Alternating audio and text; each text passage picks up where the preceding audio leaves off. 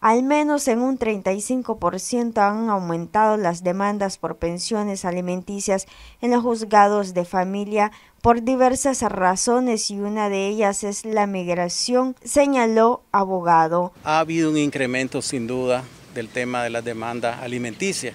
Esto por diversas razones. Obviamente lo principal es, ha habido una migración notable en la población nicaragüense por razones económicas. Y entonces, ¿qué ha sucedido? De que al, no haber el sustento de del proveedor, en este caso los varones, eh, se han visto muchas familias eh, obligadas a pedir la tutela en materia de familia y pedir las correspondientes demandas de alimentos. Según me comentan por acá en los tribunales, ha habido un aumento como de un 35% de, de esa petición de que se cumplan con los alimentos. Cano indicó que muchos no tienen las condiciones para brindar una mayor pensión alimenticia. Lo que ha sucedido es de que, digamos, la carestía de la vida ha ido aumentando y al ir aumentando las necesidades de alimentos, de vestuario, de calzado, de la familia, de los niños, de las niñas, ha ido en ascenso. Y entonces las mamás, en el caso que toca, han, han visto la necesidad y verse en la obligación de ir a reclamar un incremento de esas pensiones alimenticias, con el gran inconveniente de que los salarios no han subido. Y entonces se pide más, pero los salarios han estado estáticos.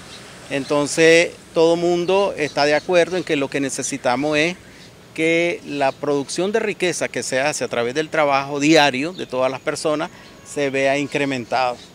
Para poder tener más pensión alimenticia hay que producir más riqueza y eso significa más trabajo.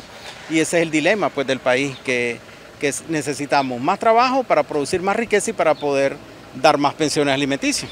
Es que lo que sucede es lo siguiente, en los tribunales los jueces nos dicen, mi cliente, mi representado está sin trabajo y aquí le traigo la constancia de que fue despedido.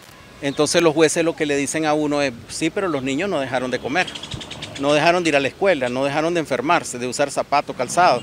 Entonces busqué cómo hacer, dice, y entonces ahí viene el gran tema de que hay que ir, pedir un tiempo para poder cumplir o hacerlo en cuotas más pequeñas.